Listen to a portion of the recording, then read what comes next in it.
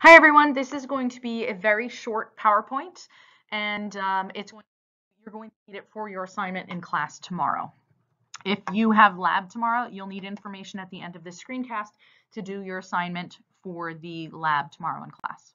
All right, so this is section three, coastal impacts and invasives. So freshwater ecosystems as well as saltwater ecosystems are under major threats. threats. Think HIPPCO, habitat destruction, invasive species, human population explosion, pollution, climate change, and overexploitation. So 40% of the world's rivers are dammed, which cause serious issues. Many freshwater wetlands are destroyed. We have invasive species everywhere. We have a lot of threatened species. We have overfishing, and we have lots of human population pressures. Invasive species are an increasing threat to marine and freshwater biodiversity. So bio-invaders are blamed for about two-thirds of the fish extinctions in the US between 1900 and 2000. Okay, so just in 100 years.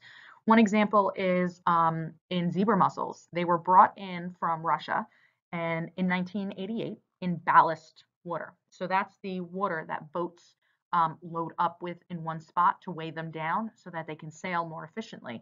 And then when they get to the place that they're going, what they do is they release the water. So in Russia, what they did was that boat sucked in water so that it could travel to the US, the Great Lakes. And then what it did was when it was in the Great Lakes, it expelled that water and then it loaded cargo on the ship. Um, these zebra mussels have caused a billion dollars in damage. They clog everything.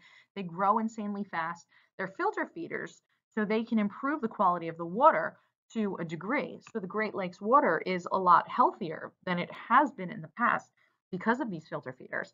However, um, they cause millions and billions of dollars in um, upkeep because these barnacles uh, or these mussels have to be scraped off the bottoms of boats to intake valves and infrastructure and everything like that. So this is a, a case study of how carp have muddied some waters. So in Wisconsin, um, they can there's an invasive species um, of purple loosestrife, which is a plant, and then the common carp has been introduced. And um, what this Dr. Richard Lathrop did was remove carp from an area of the lake, and that area seemed to recover. So it seems that the carp cause lots and lots of turbidity in the water, which affects the amount of sunlight getting through and the amount of photosynthesis that actually occurs. So if you look here, you can see that this area that was roped off, you can see it's, it's black over here, but that's actually the bottom, that's the substrate. And here you can actually see the bottom. So this area is much more clear than the area around that the carp were not removed from. So they literally muddy the water. Uh, Lake Victoria in Africa, you have loss of biodiversity and these ancient species of fish called cichlids. Uh, the Nile perch were deliberately introduced into this lake. And now what happens is there are frequent algal blooms because of nutrient runoff. They're spilled because of untreated sewage. And these algae eating cichlids, so these native fish used to eat all sorts of algae. And now that these Nile perch were introduced, they eat all of these little native cichlids and the pollution is growing. Also, the waterways are clogged with water hyacinths, which were introduced, most likely for aesthetic reasons. Okay, so this is the Nile perch.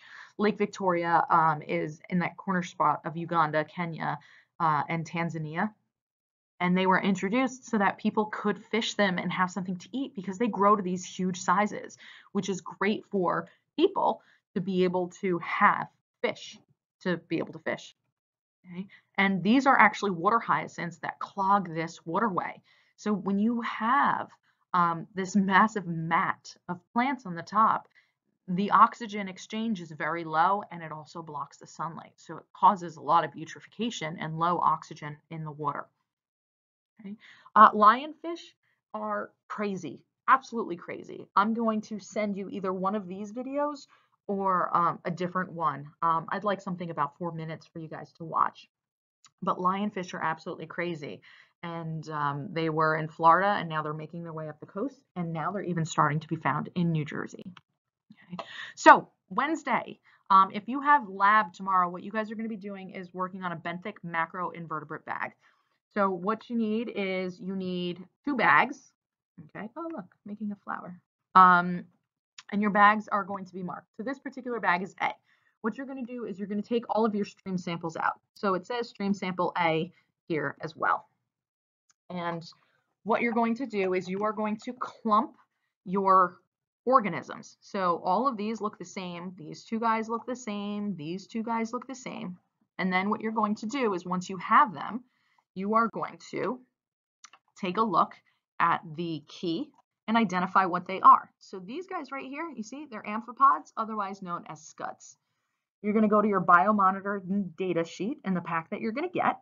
I think it's on page two. Nope, it's on page three. And what you're going to do is you're going to mark what you have. So you have scud and you actually have six of them. So if we go back to the previous slide, oh, we can't, you'll see that you count the individuals. So this would be one, two, and then there were three, four, five, six.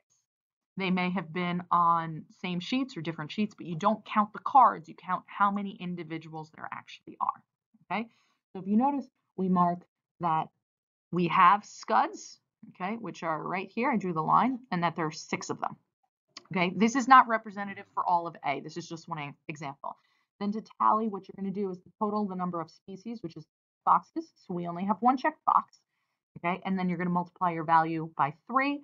It's different. This one you're going to multiply by four. The one on the bottom, I think, is number two. And then you're going to follow the directions. Okay, um, you're going to fill out your whole sheet, and then you're going to do it for a different stream sample. So when you're done, put all of your little organisms back in the bag and trade it for a different number. Okay, when you are done, you are going to do the post lab questions one through six. That's it, one through six only. And then when you are done with that, you are going to complete your pre-lab questions. Okay, all of that should be no problem to be able to do in your lab period. And I would like your um, labs to stay in class. So you will be handing them in at the end of class. Okay, fantastic.